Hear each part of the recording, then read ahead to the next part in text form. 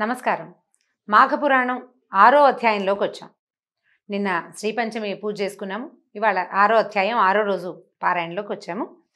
నిన్నటి భాగంలో ఏం చెప్పారు? గౌతముడు అనే ఋషి. తన శిష్యగణంతో కృష్ణానదీ తీరంలో ముకుంద జ్యువెలర్స్ తెలంగాణలో మొట్టమొదటి ఫ్యాక్టరీ అవుట్లెట్ మన కొత్తపేటలో ఫిబ్రవరి పద్నాలుగున గొప్ప శుభారంభం. మాఘ స్నానాలు చేస్తూ అక్కడున్న అశ్వత్థ వృక్షం కింద ఒక మండపాన్ని ఏర్పరిచి లక్ష్మీనారాయణల పూజా విధానం సలుపుకుంటూ ఉండగా అక్కడికి వచ్చినటువంటి ఒక కుక్క మండపానికి అశ్వత్థ వృక్ష సహితంగా ఒక మూడు ప్రదక్షిణాలు చేసి పూర్వజన్మని పూర్వ స్మృతిని పొంది ఒక రాజుగా అక్కడ పరిణమించింది. అదే సమయంలో ఏమైంది? ఈ రావి చెట్టు తాలూకు త్వరలోంచి బయటకు వచ్చిన ఒక కప్ప అటు ఇటు ఎగిరి ఆ మండపం మీదకి ఎగిరిందై తన పూర్వ రూపాన్ని పొందింది. ఒక మునిగా స్త్రీగా అంటే ఒక తాపస స్త్రీగా అక్కడ కనపడింది కనపడిందనమాట అయితే గౌతమ్ మహర్షి అడిగారు అమ్మాయి ఎవరు నువ్వు? ఏమిటి? అని అడిగితే ఆ అమ్మాయి చెప్తోంది. మునిశ్రేష్ఠ నా వృత్తాంతాన్ని తెలియజేయుదునుగా చేస్తాను. నా జన్మస్థానం గోదావరి నది సమీపంలో ఉన్నటువంటి ఒక కుగ్రామం. గోదావరి నది తీరంలో ఉందట. నా తండ్రి పేరు హరిశర్మ నా పేరు మంజుల. నన్ను నా తండ్రి కావేరీ తీరవాసి అయినటువంటి జ్ఞానానందుడు అనే ఆయనకిచ్చి పెళ్ళి చేశాడు. ఆ భర్త పేరు జ్ఞానానందుడు అంటే వివాహితే ఈవిడ. ఈవిడ పేరేమో మంజులట. అయితే అతను చాలా దైవభక్తుడు. అమ్మాయి భర్త జ్ఞాని దైవభక్తుడు నిగర్వి. మాకు వివాహమైన వెంటనే నేను అతని వెంట కాపురానికి వెళ్ళిపోయాను. మరికొన్నాళ్ళకి మాఘమాసం ప్రవేశించింది. ఒకనాడు నా భర్త ఏమే? మాఘమాసం ప్రవేశించింది. ఈ నెల చాలా పవిత్రమైంది. దీని మహత్తు చాలా విలువైంది.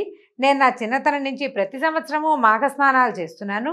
నీవు నా భార్యవు కనుక నీవు నువ్వు ఈ మాఘమాసం అంతయు లేచి పొద్దున్నే తెల్లవారుజామునే నిద్రలేచి కావేరీ నదిలో స్నానం చేయి ప్రతిదినము ప్రాతకాలంనే నిద్రలేచి కాలకృత్యాలు తీర్చుకున్న సమయమునకు తెల్లవారి సూర్యోదయం అవుతుంది. సూర్యుడు ఉదయించిన వెంటనే నదికి పోయి నదిలో స్నానం చేద్దాము.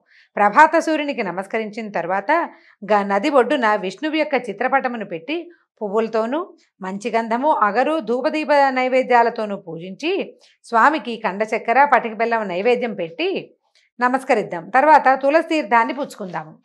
మన కుటీరానికి వచ్చి మాఘపురాణాన్ని రోజుకో అధ్యాయం చొప్పున పఠిద్దాం చదువుకుందాం. దీనివల్ల మనకు చాలా ఫలితం కలుగుతుంది. నీ ఐదో తనం చల్లగా ఉంటుంది అని ఈత బోధ చేశాడు. అయితే నేను అతని మాట వినలేదు. రుసరుసలాడుతూ అతను నీచంగా చూశాను. ఏమిటి? పొద్దున్నే లేవటం ఏమిటి? ఈ నదీ స్నానం ఏమిటి? నది దగ్గర కూర్చుని అంతసేపు ఇది చేయటం ఏమిటి అని. అయితే నా భర్త చాలా శాంత స్వభావుడు. అయినా కూడా నేను హద్దు మీరు మాట్లాడడం వల్ల అతని కోపం వచ్చి ఓసి మూర్ఖురాలా నా ఇంటికి వచ్చి నా వంశాన్ని ఉద్ధరిస్తావనుకున్నాను. నువ్వు ఇంత దైవద్వేషిణివని నాకు తెలీదు నువ్వు ఇక నాతో ఉండద్దు మాఘమాస వ్రతం నీకు ఇంత నీచంగా కనిపించిందా? అదే నీ పాపానికి నిన్ను శిక్షిస్తుంది కానీ మగని మాటకి మారాడిన ఫలితంగా కృష్ణానదీ తీరమందున్న రావి చెట్టు త్వరలో మండూకానివై పడిందుగాక అని నన్ను శపించాడు.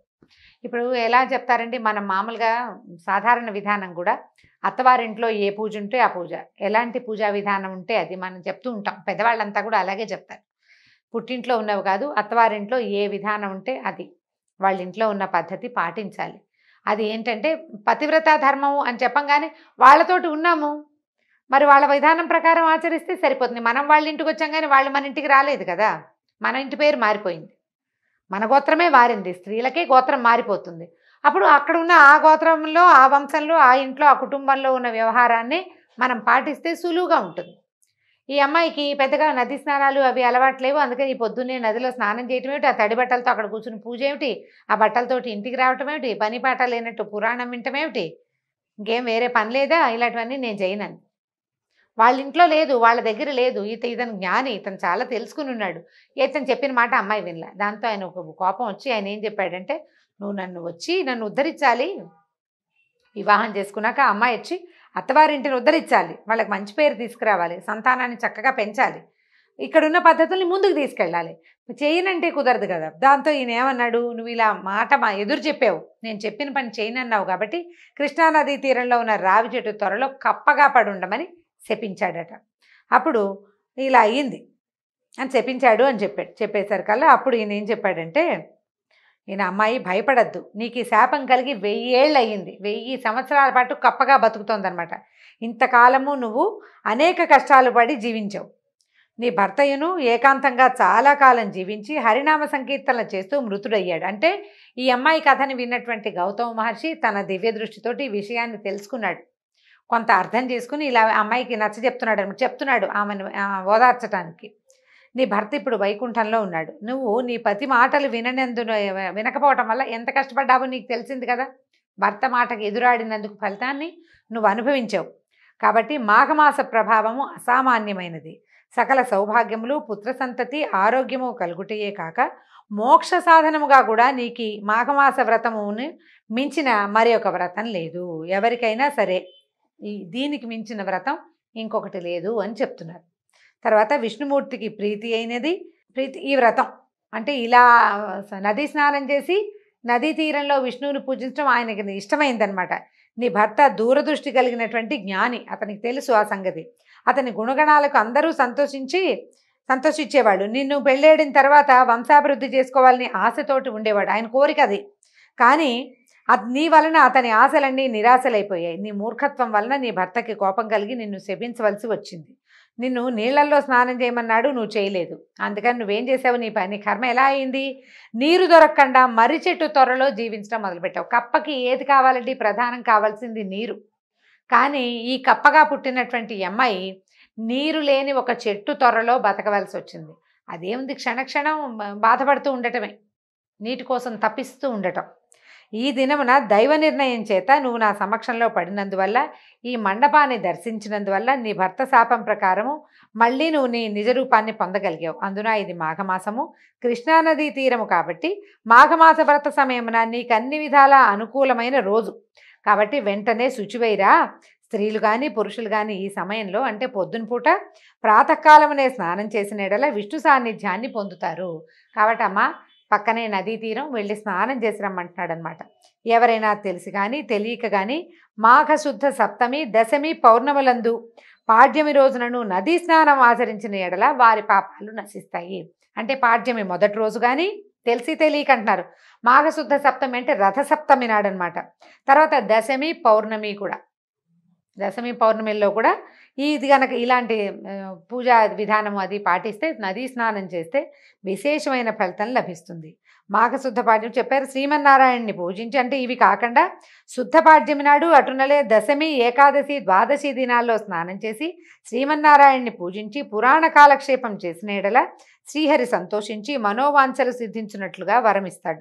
భక్తి శ్రద్ధలతో మాఘపురాణం వినిన ఎడల మోక్ష ప్రాప్తి కలుగునని గౌతమముని ఆమెతో చెప్పినట్టుగా మహేశ్వరుడు పార్వతీదేవితోటి ఈ కథ చెప్పాడు. అయితే ఇవాళ ఆరో రోజు అండి రేపు ఏడవ రోజు రథ సప్తమి ఏడో రోజు సప్తమి తిథి వస్తుంది. అయితే రథ సప్తమి నాడు సూర్యారాధన అత్యంత ముఖ్యమైనది ప్రముఖమైనది ఆ విశేషమైన ఫలప్రదాయనిగా తెలుస్తుంది. మనకి చాలా చోట్ల అది చెప్పబడి ఉంటుంది.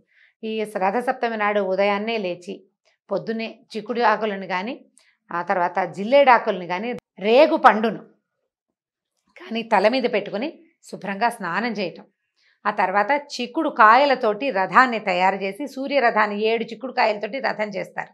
దానికి ఏడాకుల గొడుగులాగా అమర్చి అక్కడికి ఆ రథం మీదకి సూర్యుని ఆవాహన చేసి ఒక కుంపట్లో కానీ ఆవు పిడకలతోటి కానీ మనకు వెసులుబాటును బట్టి ఏ అవకాశం లేకపోతే స్టవ్ మీదైనా పాలు పొంగించి పొంగుతున్న పాలల్లో మూడు గుప్పెళ్ళ బియ్యం వేసి ఆ ప బియ్యాన్ని పచనం చేయాలి పాయసంగా చేసి.